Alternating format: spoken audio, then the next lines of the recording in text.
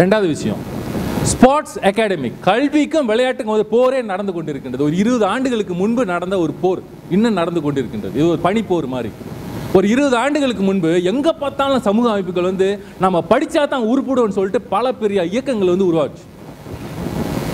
அங்கங்கே ட்வீட்ஸ் நட்டெல்லாம் ஆரம்பித்தோம் அங்கங்கே இயக்கங்கள் வந்து அந்த கிளாஸ் இந்த கிளாஸ்ன்னு சொல்லிட்டு சனிக்கிழமை ஞாயிற்றுக்கிழமை வந்து பிள்ளைகளை போட்டு வாட்டி வருட்டி எடுத்தோம். யூபிஎஸ்ஆர் பரீட்சையில் எல்லாத்துலையும் ஏ வாங்கணும் அப்படின்னு சொல்லி. தப்பு கிடையாது. அதே அந்த வாட்டியும் வருட்டியும் எடுக்கிறது வந்து கடலில் போட்டிருந்தா இந்நேரம் ஒலிம்பிக்கில் ரெண்டு ஒரு அஞ்சாறு பேர் ஓடி இருப்பான் நம்ம அப்படி பண்ணலை பேலன்ஸ் பண்ணலை நம்ம. ஒரே துறையில் மட்டும் ஆர்வத்தை கொடுத்த பேர் விளையாட்டுத்துறை வந்து அப்படியே ஒதுக்கி வச்சிட்டோம். இதனால் பல பெரிய விஷயங்கள் நடந்திருக்கு.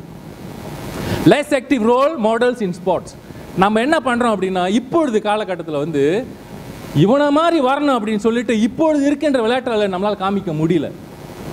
என்ன பண்ணுறோம் முப்பது வருஷத்துக்கு முன்னால் வாடின ஒருத்தர் வந்து காமிக்கணும். பார்த்தியா அவர் அவர் கோல்டு மெடல் எடுத்தவர். இவர் மலேசியா கோல்டு எப்போ? நாற்பது வருஷத்துக்கு முன்னாடி. இப்போ பிள்ளைகளுக்கு வந்து அவர்களை வந்து ஒரு ரோல் மாடலாக பார்க்க முடியல. ஒரு தாத்தாவை பார்க்குறான். ஒரு மாமாவை பார்க்குறான். அந்த மாமா அங்கிள் நல்லா இருக்கார். ஓ இந்த அங்கிள் தான் ஓடினாரா? இது ரோல் மாடல் கிடையாது. இந்த மாதிரி பேச முடியாது. இப்போ விளையாண்டுட்டு இருக்காரு இல்லையா? இவர் மாதிரி நான் வரணும் அப்படின்னு பார்க்க இப்போ இப்படி யார் இப்போ விளையாண்டுட்டு இருக்கா? தேடி பிடிக்க வேண்டியதாக இருக்கு. யார் விளையாடுறா? நம்ம இடத்துல யார் விளையாடுறா இப்போ? நேற்று விளையாண்டு இருப்பாங்க மேலே. மலை ஏறி இருப்பாங்களே? விளையாடி இருப்பார்களே? இந்த விளையாட்டில் தான் நம்ம நிறைய போயிட்டு இருக்கோம். அப்போ நமக்கு ரோல் மாடல் வந்து இப்பொழுது தற்கால ரோல் மாடல் கிடையாது. நம்ம வந்து முப்பது வருஷத்துக்கு முன்னால் இருந்த ரோல் மாடல் தான் காமிச்சிக்கிட்டே இருக்கோம். ஓ இவரா? கருத்து இவர் தான் நம்ம ஏ- கே வந்து கோச்சு இவர் தான் கொண்டு போனார். ஓ இவரா டாக்டர் தான்ஸ்ரீ மணி ஜெகதீசன் முன்ன ஓடினார். ஒலிம்பிக்கில் இவர் தான் செமிஃபைனல் முகமதா போனவர். பழங்கதையை பேச முடியாதுங்க இப்போ. நம்ம உருவாக்கணும். Current role models are need அதான் நமக்கு இப்போ வேண்டிய விஷயம். சரி. டிக்ரீசிங் பிளேயிங் கிரவுண்ட் இது வந்து சொல்ல வேண்டிய அவசியமே கிடையாது. எங்கே பார்த்தாலும் தடலுக்கு வந்து சுருங்கிக்கிட்டே போகுது. அல்லது காணா போகுது. ஓகே இன்னைக்கு பார்த்த தடல் நாளைக்கு இருக்காது. இந்த ஒரு சூழ்நிலை இருக்கின்றது. Less qualified teachers and coach பள்ளிக்கூடத்தில் விளையாட்டுத் துறையில் தகுதி வாய்ந்த ஆசிரியர்களும் அல்லது பயிற்றுநர்களும் கிடையாது. குறைவு. இது ஒரு உண்மை. தமிழ் பள்ளிக்கூடத்தில்.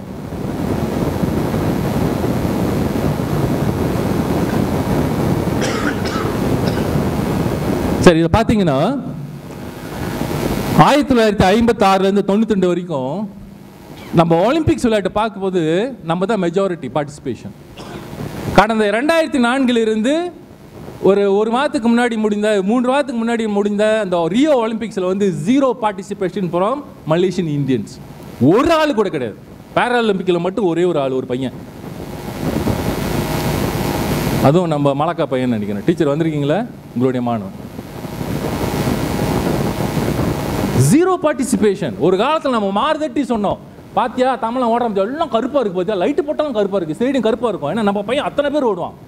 இப்போ அப்படி கிடையாது எல்லாம் வெள்ளையா இருக்கு. தேடி பிடிக்க வேண்டியதாக இருக்குங்களா? ஒரு நாள் கிடையாது. என்ன ஆச்சு நான் சொன்னேன்ல முப்பது வருஷத்துக்கு முன்னாடி ஒரு போராட்டம் நடந்துச்சு இல்லையா? கல்வியா விளையாட்டான இதில் இதனால வந்த பாதிப்பு இதெல்லாம். சரி. இதை பார்த்தீங்கன்னா ஒரே ஒரு இது மட்டும் சொல்கிறேன் நீங்கள் ஹாக்கியை பாருங்கள் ஆயிரத்தி தொள்ளாயிரத்தி அறுபத்தி நான்காம் ஆண்டு ஹாக்கி ஒலிம்பிக்ஸை இந்த ஹாக்கி ஒலிம்பிக்ஸில் வந்து ஒரு ஒரு ஒரு டீமில் வந்து மொத்தமே வந்து மினிமம் பதினெட்டு பேர் இருக்கணுங்க. பதினோரு பேர் விளையாடுவாங்க ரிசர்வ்ஸ் இருப்பாங்க. இல்லை இருபத்தஞ்சு பேர் இருப்பாங்க. பெரிய டீமாக இருந்துச்சு இருபத்தஞ்சு பேர் இருப்பாங்க. நீங்கள் ஆயிரத்தி தொள்ளாயிரத்தி அறுபத்தி ஆ நான்காம் ஆண்டு பார்த்தீங்கன்னா பதினோரு பேர் விளையாடக்கூடிய அந்த ஹாக்கி விளையாட்டில் பனிரெண்டு பேர் நம்பாள். Two thousand nineteen sixty four. Okay nineteen sixty four பார்த்தீங்கன்னா 12 of தான் இண்டியன்ஸ் இப்போ ஒரு ஆள் காமிங்க. What எங்கே போனாங்க? காரணம் குடும்பம் பள்ளிக்கூடம் சமூக அமைப்புகள் தவற விட்ட சில விஷயங்கள். தவற விட்ட விஷயங்கள். இதனால் கிடைத்த பிரதிபலன் தான் இது. இன்றைக்கு வந்து ஜீரோ சரி. ஆறாவது problem statement increasing social illness எங்கே பார்த்தாலும் சோஷியல் ஏன்னா விளையாட்டுத் துறையில் இருந்தாங்கன்னா அவர்கள் மற்ற வழிக்கு போகக்கூடிய வாய்ப்பு கிடைக்காது. மற்ற மற்ற என்னது என்ன சொல்லுவாங்கன்னா சமுதாயத்துக்கு விரோதமான சில விஷயங்கள் இருக்கு இல்லையா? ஓகே சூதாடுதல் இது ட்ரக்ஸு திருடுதல் கிட்னாப்பிங் இதெல்லாம் வந்து இந்த மாதிரி கேங்ஸ்டரிசம் இதுக்கு போகக்கூடிய வாய்ப்பு இருக்காது. ஏன்னா அவங்க விளையாட்டுத்துறையில் ஆர்வம் வளர்றதுனால அதுக்கு டைம் இருக்காது. அவன் அந்த விளையாடி விளையாடிய கலப்பிலே போய் தூங்கிடுவான் சரிங்களா ஒரு இரண்டு ஆண்டுகள் ஒரு ஒரு நான்கு ஆண்டுகளுக்கு முன்பாக வந்து செராஸ் கோலம்பூரில் வந்து அண்ட் சென்டூரில் ரெண்டு இடத்துல வந்து மிட் நைட் ஃபுட்பால்னு சொல்லிட்டு ஒரு விஷயம் ஆரம்பித்தோம் கேங்ஸ்டர் இருக்காங்க இல்லையா? இந்த இந்த இடத்துல வந்து இந்த மிட் நைட் ஃபுட்பால் ஆரம்பித்தோம் மிட் நைட் ஃபுட்பால்னா என்ன? ராத்திரி பன்னெண்டு மணிக்கு பந்து விளையாடணும். இது வந்து அடுக்குமா? பன்னெண்டு மணிக்கு யார் பந்து விளையாடுவோம் பைத்தியக்காரன் தான் பந்து விளையாடுவோம் ஆனால் நாங்கள் விளையாண்டோம். பன்னெண்டு மணிக்கு யார் தூங்காமல் இருப்பா? யாருங்க தூங்காமல் இருப்பா பன்னெண்டு மணிக்கு? எந்த மாதிரி பிள்ளைகள் தூங்காமல் இருப்பாங்க? இந்த கேங்ஸரு பொட்டன்ஷியல் கேங்ஸரு ட்ராக் அடிக்ஸு அல்லது இந்த ரூமா பங்ஸா இருக்கு இல்லையா? இந்த மாதிரி இடத்துல தூங்க முடியாமல் தவிக்கின்ற மான ஏன்னா ரூமா பங்ஸ் பங்ஸா வந்து ரொம்ப குறுகிய ஒரு ஒரு சின்ன ஒரு வீடாக இருக்கும். ஒரு ஒரு ரூமாக இருக்கும் ரெண்டு ரூமாக இருக்கும். படுக்க முடியாது சத்தமாக இருக்கும். ஆக இந்த பிள்ளைகள் என்ன பண்ணுவாங்கன்னா ரொம்ப லேட்டாக போய் தூங்குவாங்க. ஏன்னா வெள்ளனே போனால் தூங்க முடியாது. ஒரே சத்தமாக இருக்கும்.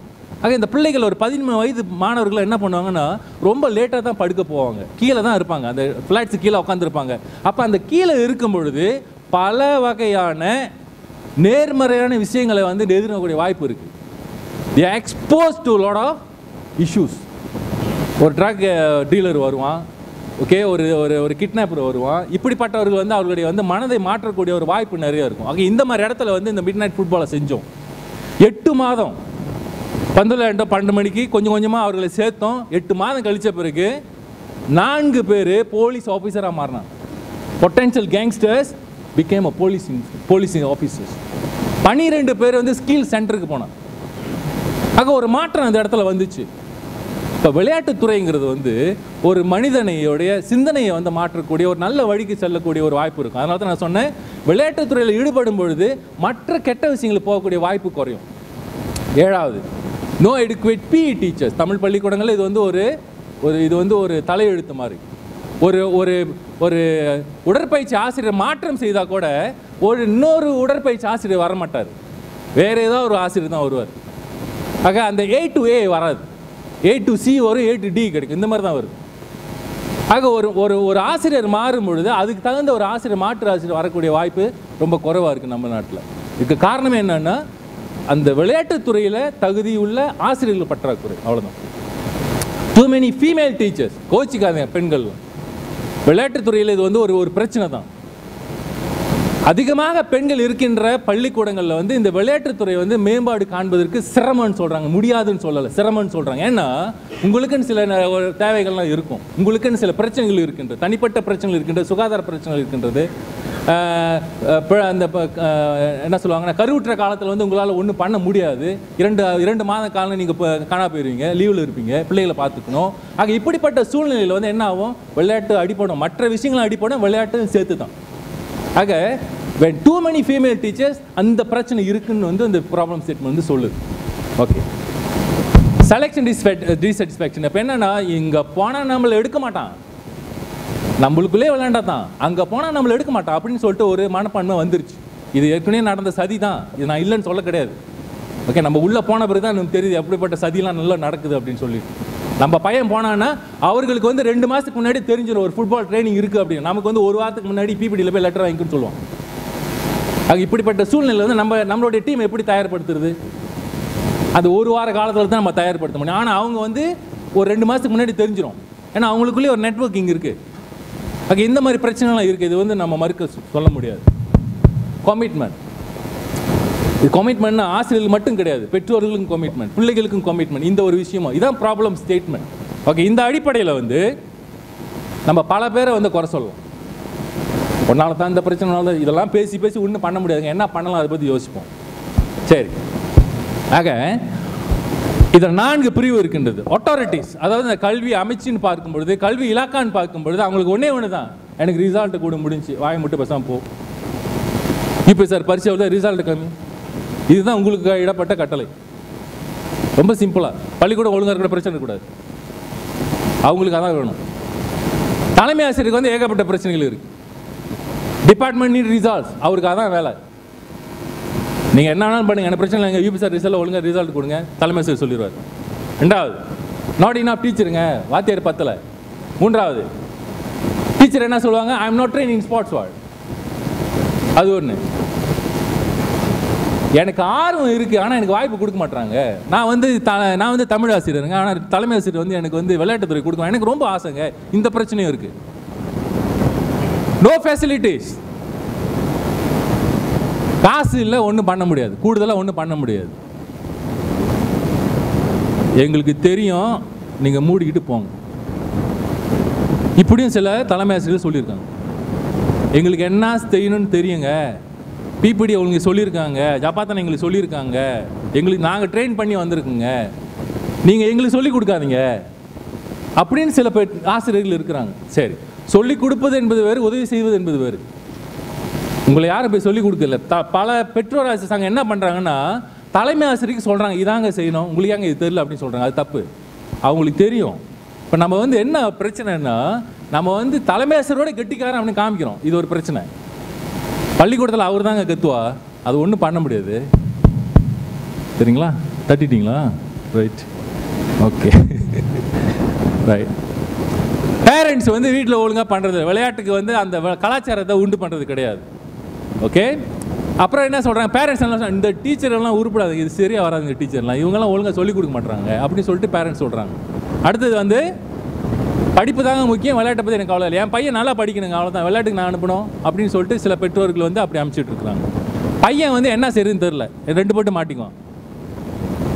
ஆம் கன்ஃபியூஸ்னுவான் சில நேரத்தில் அப்பா வந்து பந்து விளையாட்டில் ஆர்வமாக இருப்பான் அவனுக்கு பந்து விளையாட்டில் ஆர்வம் இருக்காது. அவனுக்கு வந்து பேட்மிண்டன் ஆர்வம். போஸ் பண்ணி நீ போய் பந்து விளையாடுறான் அவன் கடுப்பில் விளையாண்டுட்டு இருப்பான். சரிங்களா? ஆக சில முக்கியமான விஷயம் இந்த இடத்துல நான் சொல்ல வேண்டியிருக்கின்றது. Whether it is authority school parents ஒரு ஸ்டூடெண்ட்ஸ் எல்லாரும் சேர்ந்து ஒரு அக்ரி பண்ணணும். ஒரு கொலெக்டிவ் பிரின்சிபல் ஒரு அடிப்படையில் வந்து ஒரு கொள்கை அடிப்படையில் வந்து எல்லாரும் உட்காந்து வந்து பள்ளிக்கூடத்துக்கு என்ன பண்ண முடியும் என்ற ஒரு கலந்த ஆலோசியத்தில் வந்து அறுக்க வேண்டும். மூன்றாவது என்னன்னா என்ன பண்ணலாம்? அந்த எல்பிஎஸ் வந்து என்ன பண்ணலாம் அப்படின்னு பார்க்கும் பொழுது எல்பிஎஸ்ங்கிறது வந்து ஒரு ஸ்டேக் ஹோல்டர்ஸ் பிஐபிஜி எல்பிஎஸ் மாணவர்கள் ஆசிரியர்கள் பெற்றோர்கள் இந்த மூ இந்த இந்த எல்லாமே வந்து சேர்ந்து உட்காந்து பள்ளிக்கூடத்தை கூட சேர்ந்து உட்காந்து இவங்க எல்லாம் பள்ளிக்கூடத்துக்கு சேர்ந்து ஏதாவது பண்ணணுன்ற ஒரே ஒரு எண்ணத்தில் உட்காந்தாங்கன்னா எந்த ஒரு பிரச்சனையும் வரக்கூடிய வாய்ப்பு இல்லை. ஒரு கொலெக்டிவ் அக்ரிமெண்ட் வந்து வரணும். ஒரு தொடர்பு நிலை வந்து எல்லாத்துக்கும் இருக்கணும். பிஐபிஜியில் உள்ளவர் வந்து எல்பிஎஸ்சில் இருக்கணும். அப்படி இருந்தால் தான் அந்த தொடர்பு நிலை இருக்கும். பள்ளிக்கூடத்தில் ஆசிரியர்கள் வந்து அந்த பிஏபிஜிலையும் பிஏபிஜியில் அந்த எல்பிஎஸ்சியில் இருக்கும்போது அந்த அந்த தொடர்பு சங்கிலி மாதிரி ஒரு விஷயம் வந்து ஓடிக்கிட்டு இருக்கும். அப்போ எனக்கு தெரியாது அவங்க என்னமோ பண்ணிக்கிட்டு இருக்காங்க அப்படின்னு சொல்லி யாரும் சொல்ல முடியாது. இப்படி பல பள்ளிக்கூடங்கள் சொல்கிறதுனால தான் விளையாட்டுத்துறை வந்து அடிப்படுது அவங்க நினச்ச மாதிரி செய்கிறாங்க நம்மளுக்கு ஒன்றும் தெரியாதுங்க அப்படின்னு சொல்கிறோம் ஆனால் ஒவ்வொரு இடத்துலையும் வந்து அங்கத்துவம் இருக்கும்போது இந்த பிரச்சனை குறையும். இன்னொரு பிரச்சனை இருக்குது சில இடத்துல வந்து பிஐபிஜி என்ன சொல்கிறாங்கன்னா பிஐபிஜி தாங்க ஒட்டரைஸ் இது என்ஜிஓ எல்பிஎஸ் கிடையாதுங்க அப்படின்னு சில பேர் சொல்கிறாங்க நாங்கள் தாங்க பெருசு. இந்த இடத்துல யாரும் பெருசு கிடையாது. பள்ளிக்கூடம் மட்டும்தான் பெருசு. மற்ற எல்லாம் சிறுசு தான் தலைமை ஆசிரியரும் சரி பிஐபிஜியும் சரி எல்பிஎஸும் சரி பெற்றோர்களும் சரி யாருமே பெரியது கிடையாது. இந்த இடத்துல பள்ளிக்கூடம் மட்டும்தான் பெருசு. அப்படின்ற ஒரு எண்ணத்தில் வேலை செஞ்சோம்னா சிறப்பாக செய்ய வந்து வாய்ப்பு இருக்கு சரி.